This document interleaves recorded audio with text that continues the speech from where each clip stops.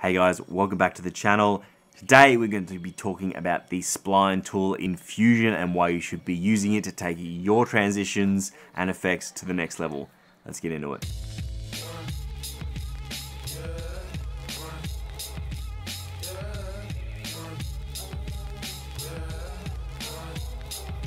So if you don't know who I am guys, my name is Ed, I'm Melbourne Bidet. Don't know who I am guys, my name is Ed, I'm Melbourne Bidet. So if you don't know who I am, guys, my name is Ed. I'm Melbourne Taste for. Oh god, I'm not just not saying that today. So a little bit. Oh no. You don't know who I am, my name is Ed. I'm a Melbourne-based photographer and videographer.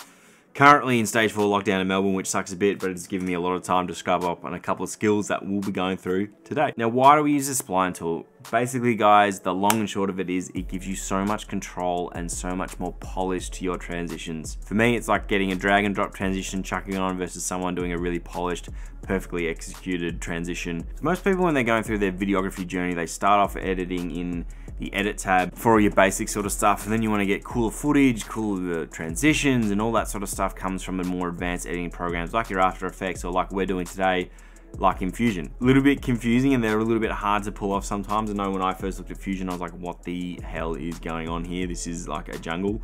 But once you get your head around it you can create some really cool effects.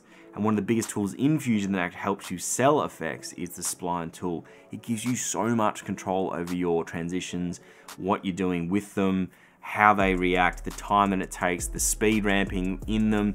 It just makes such a massive difference. What we'll do today, guys, to demonstrate this, take you through a transition and show you what it looks like without utilizing spline tool and what it does look like utilizing the spline tool and you'll see why it gives you so much more control. There's a stark difference between just a drag and drop transition and a transition that is custom tailored for that clip that you're using. And it's one of the few things that you can do to really up your game as a videographer or editor to really grab people's attention, keep them immersed for longer, keep eyes glued on those pieces because it's so fluid and it's so nice and so smooth that you can really create awesome, awesome pieces with it. So it is a very, very good tool to use. So what we're gonna do guys, we'll jump to Fusion and I'll take you through it and show you how to manipulate the spline tool and how we can use it and a couple of different functionalities it have. So we've got these two clips set up. Let's jump into it and get editing. All right, confession. I may have recorded this whole segment and forgot to press the screen recorder. So I kind of fucked up and my bad yeah, I went to edit it this morning and uh, I went to find the screen recorder file and I couldn't. And I was like, Ed, you absolute piece of shit. So that is why the lighting is a bit different. The jumper is different. Things are different because I suck. I'm a piece of shit. So my bad, guys. But let's get into it. Alright, my friends. So we have finally got DaVinci Resolve open. So we have this really simple clip of that I've done for a client recently, which is just this knife here, cutting these fudges and then swiping across to reveal them cut in half nice and clean just so that show they are absolutely delicious something a little bit more engaging. This is a product photography video I did for a client and I actually built most of the foundation of the video through Fusion creating awesome effects. One of the segments I brushed over was the spline tool. Today we're going to take a little bit more of a deep dive, explain what it is and why we need to be using it. So when I'm looking at this clip, what I wanted to do is I wanted to do a sort of rotation punched in effect that created just a little bit of dynamic movement. I just find locked off tripod shots so boring. So when I look at this, I'm like, yeah, cool. I could use a speed ramp. I could use something like that, but I don't, that just wasn't calling out to me. So I thought I'll do this warp transition. So what I did, built it from this power from the ground up. So what we're gonna do is do a transform node, add that in, and then I'm gonna add some directional directional blur just because it makes transition sexy. What we'll do is go to our transform node. I'm going to find the start here, right about there, size, and then we'll go to the end of the transition, make that a 2. And what I wanted to do is that rotation as well. So at the same point, do angle, keyframe, back to the same second keyframe and do 360.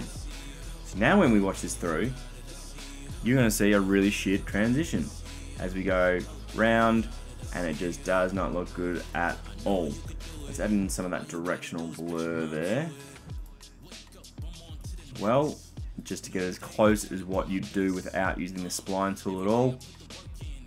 So we'll just what we'll do is keyframe that in, go a few in, do is how I would actually do it.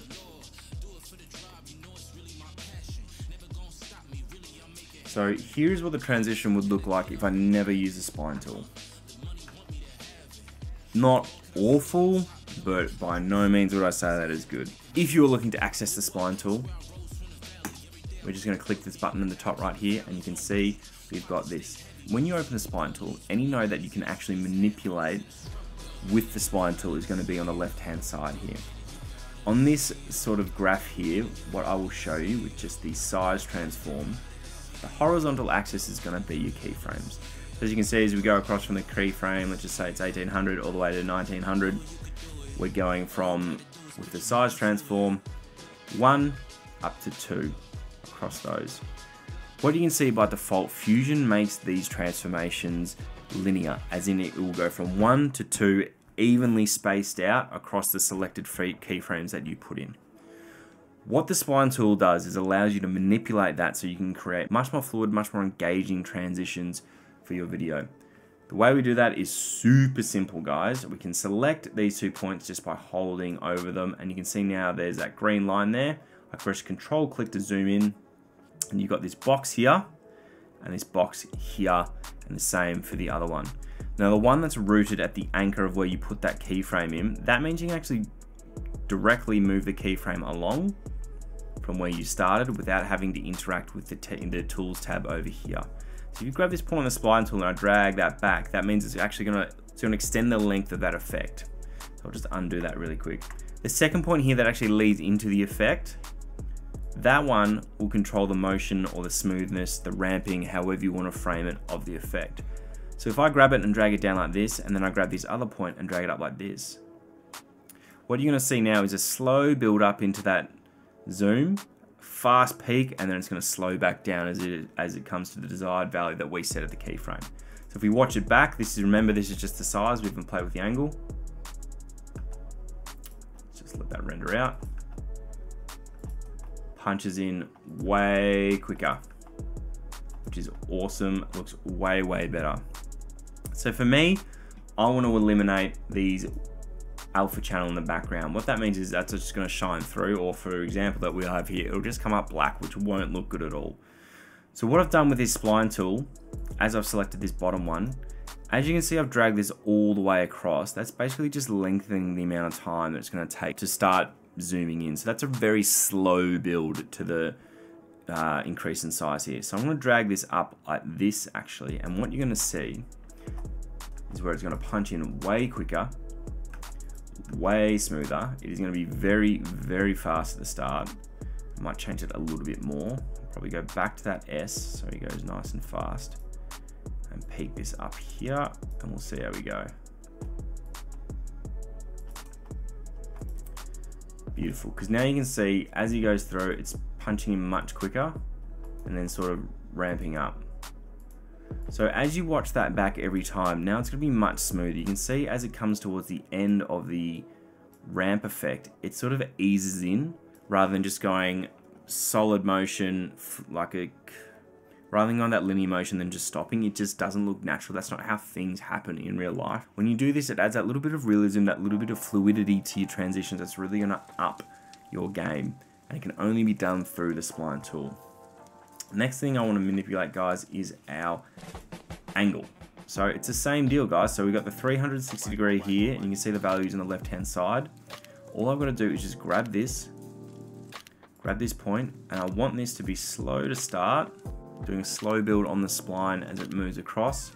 I'm virtually eliminating that alpha channel. There's still a little bit there, but if you compare it to what it was, it's not even close. It just looks so much better. What I'll do is put these two side by side, guys. So here's it without the spline, and here's it with the spline. As you can see, you've got a much more fluid motion. It looks way better, and it's just much, much cooler, much more engaging when you've utilized the spline tool to create the effects. That is the magic of the spline tool, guys. It adds so much depth so much engagement, so much fluidity to your transitions, and it changes your transitions from looking like they've just been cut and paste from a preset pack you know, drag and drop transitions into something that you've built from the ground up, custom for your clip, because that is essentially what you're doing. So it really just brings another level to your clips. So that's it guys, that is this simple, nice, short, sharp tutorial on the spline tool. It's really, really easy guys. It is something that you need to play around with a little bit, just get nice and used to so you can sort of develop what you want. Generally a good S-curve on the spline tool is going to give you nice transitions, but it does give you a lot of flexibility to play around to make sure that the transitions you're doing are going to suit the clip. So I highly, highly recommend that you guys invest into the spline tool, learn Fusion a bit, and I promise you is going to take your transitions and effects to the next level. I'll see you in the next one, guys. If you have gotten this far and this is useful to you, I would love it if you could subscribe. Comment below if you're using DaVinci Resolve, if you're thinking of jumping over, because I know a lot of people have seen the hype around it. I can say from someone who is an ex-Adobe user, I absolutely fucking love it. It works so much better on my computer. I find it's much more stable. The colors that I can get out of it, I don't know if it's just like the Lumut, I was just really shit and using the Lumetri panel or whatever it was in Premiere Pro, but I just find DaVinci Resolve is just so, so much better for videos. Anyway, guys, thank you so much. I appreciate it. I'll see you in the next one. Cheers.